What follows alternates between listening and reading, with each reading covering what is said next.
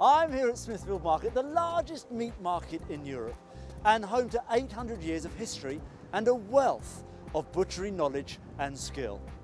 And although this is utterly delicious, I'm here to find out whether bacon is, well, just bacon, or if there's more to the gorgeous bacon butty than first meets the eye.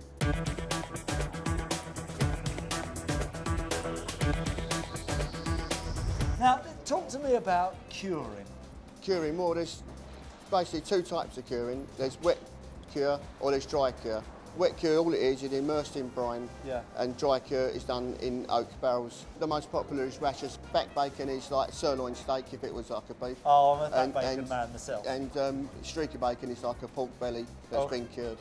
Is there any chance I could sample a little bit of your lovely bacon? Well, I've got some nice bacon here.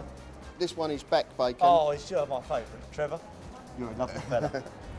Hello, Clare. Hi there. Now, I brought you that fabulous oak smoked bacon, which I'd normally use for bacon sandwiches, but you're going to show me something slightly different. Yeah, we're going to do a kedgeree. So, would you mind throwing it Do you in? want me to throw it in? Yeah. What, bacon Thank first? You. Yeah. So we'll.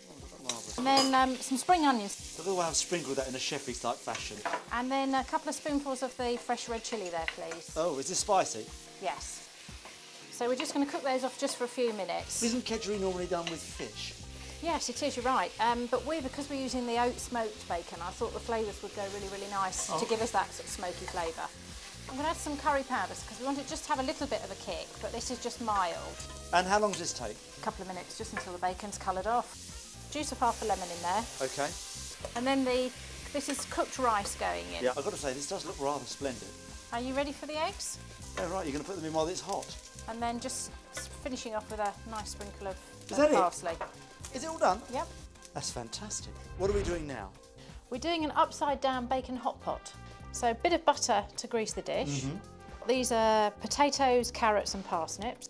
And then I'm going to put some uh, Cox's apple in. A bit of sage. Okay. And then I'm using um, some Wiltshire cured bacon on the top. So it's really nice, meaty, flavoured bacon. And then just a little bit of stock. That's all there is to it. And how long will that take to cook? In the oven for about 50 minutes, so just until the bacon's all crispy on the top. You've got some muffins for us. Yeah, these are some savoury muffins that mm-hmm. I've made with unsmoked bacon. And into the batter I stirred some fresh basil and some fried onions.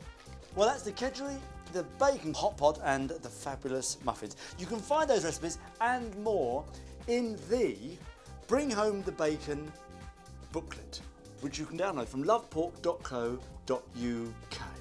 Now, just remember that whenever you're going to buy your bacon, always look out for the red tractor mark.